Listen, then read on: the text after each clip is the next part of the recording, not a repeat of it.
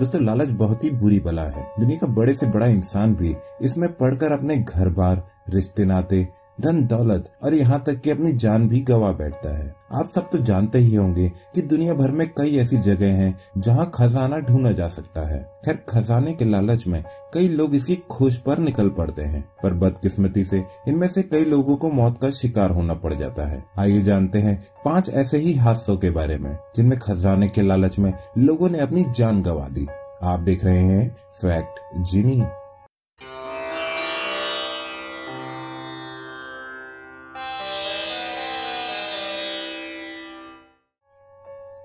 Number पाँच, रेंडी बायल्यू एक बहुत ही पुराने आर्ट डीलर, फॉरेस्ट फ़ैन जब 80 साल के हुए तो उन्होंने कई मिलियन डॉलर्स, यानी कि करीब 40-50 करोड़ रुपए, खजाने के रूप में न्यू मैक्सिको के जंगल में छुपा दिए थे। उन्होंने खजाना खोजने का क्ल्यू एक पोयम में लिखकर पब्लिक में रिलीज़ कर दिया और लोगों को चैलेंज कर दिया कि वो इस खजाने को ढूंढ के दिखाएँ।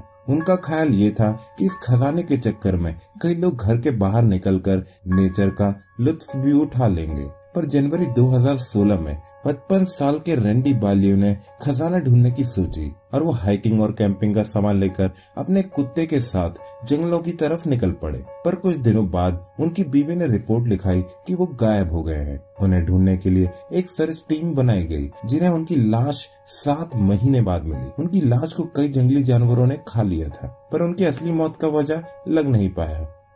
नंबर चार, जेसी कैपिन। पैंतीस साल के जैसी डचमन गोल्ड माइन के खजाने को लेकर हमेशा ही उत्साहित रहते थे। उन्होंने पिछले दस साल से इस छुपे हुए खजाने पर काफ़ी किताबें पढ़ी और काफ़ी रिसर्च भी की और 2009 में उन्होंने इस खजाने को ढूँढने का इरादा करके अपने काम से एक महीने की छुट्टी ली और एरिजोना के जादुई पहाड़ों पर खजाने की खोज में निकल पड़े। पर वो फिर कभी वापस नहीं आए। कई हाइकर्स को उनके खोने के कुछ दिनों बाद एक डब्बा मिला जिसमें लिखा था कि जैसी वॉज़ हियर यानी कि जैसी यहाँ थे। साथ ही उनका एक जूता ड्राइविंग लाइसेंस और कैंपिंग का सामान भी मिला, पर उनका कुछ अता पता नहीं था। पर तीन साल बाद उनकी लाश पहाड़ों के बीच में बनी, एक गहरी दरार के अंदर मिली। वो शायद खजाना ढूंढते वक्त उसमें गिर गए होंगे और बाहर न निकलने के कारण चोट और भूख से उनकी मौत हो गई। नंबर तीन, जेम्स किड।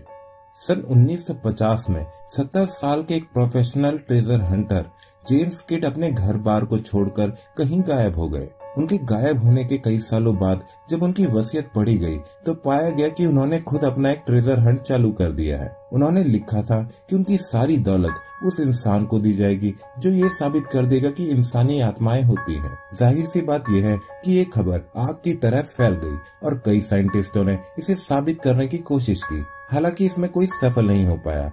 जेम्स अपनी वसीयत में करीब पाँच लाख डॉलर, यानी कि करीब तीन करोड़ तीस लाख रुपए छोड़ गए थे। ऐसे ही आत्मा को साबित करने के चक्कर में दो भाइयों ने ने भरी भीड़ में अपने पिता को जान से मार दिया। पर जैसा होना था वैसा ही हुआ। वो आत्मा को साबित नहीं कर पाए और पकड़े गए। पर उनके पिता बेकार में ही जान गंवा बैठे। नंबर दो, विली और फ्रैंक मैकलियर्ड। कनाडा के जंगलों में नाहा जाति के लोग रहते थे। जब यूरोप के लोग सोने की खोज में वहाँ आए तो नाहा समाज वहाँ से गायब हो गया। सन 1900 में विली और फ्रैंक नाम के दो भाई इसी एरिया में खजाने की खोज में गए थे। जब वो कई महीने तक वापस नहीं आए तो लोगों को लगा कि उन्हें सोने का खजाना मिल गया है और वो उसी को निकालने में लगे पड़े हैं। पर जब उनके अंकल उन्हें खुद ढूँढने निकले तो उन्हें अपने दोनों भतीजों के कंकाल, उनकी कैंपिंग की जगह मिले। उनका शरीर स्लीपिंग बैग में ही था, पर उनके सर धड़ से गायब थे और उनकी डायरी में लिखा था कि हमें खजाने का पता लग गया है। उनका सारा का सारा कीमती सामान वैसा का वैसा ही मौजूद था। ये आज भी नहीं पता लग पाया है कि कौन था जो उनका सर काट के ले गया। नंबर एक, कैलिफ़ोर्निया की सोने की खदानों की मौत है।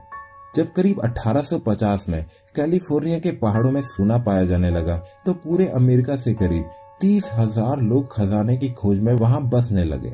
पर बदकिस्मती से उस समय न्यूयॉर्क में कॉलेरा की बीमारी फैली हुई थी। तो कॉलेरा से ग्रसित लोग जब न्यूयॉर्क से आकर कैलिफ़ोर्निया में बसने लगे तो अपने साथ इस कॉलेरा की बीमारी को भी ले आए, जिसकी वजह से आसपास का पानी कॉलेरा से दूषित हो गया था। अब खजाने की खोज में आए सारे लोग एक ही जगह से पानी पीते थे, जिसकी वजह से कॉलेरा की बीमारी इन लोगों में बहुत ही तेज़ी से फैल गई और पहले छह महीने में ही करीब छह से सात हज़ार लोगों की मौत हो गई। मरने में से कई किसी के पति थे तो कई किसी के पिता, जो अपने परिवार का पेट भरने के लिए उन्हें छोड़कर कैलिफ़ोर्निया आए थे। पर चूँकि उस समय लोगों को खबरें पहुंचाना आसान नहीं था तो इसलिए सभी मौत हुए लोगों को अनजान तरीकों से वहीं के वहीं दफना दिया गया। उनके घर वालों को ये पता भी नहीं चल पाया कि उनकी मौत तो कई सालों पहले हो चुकी है और वो अपने घर वालों का इंतज़ार करते रहे।